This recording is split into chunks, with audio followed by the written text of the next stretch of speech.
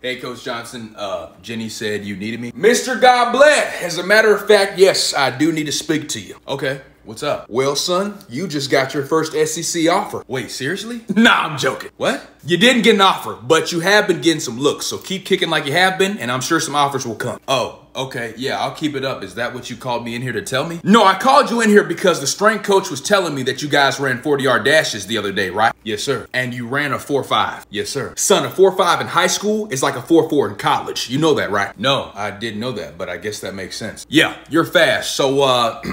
I'm gonna move you to receiver. Whoa, what? Don't worry, you can still kick. Coach, I don't wanna play receiver. God bless, stop, okay? I know you're used to your easy practices where you just kick and then watch everybody else sweat and dang near pass out, okay? But you're gonna play receiver. I mean, you're faster than every receiver I pretty much got besides Latavius and Octavian. Who's Octavian? It's that modern day receiver we played against. He was on our team last year, now he's transferring back. Coach Johnson, please don't do this.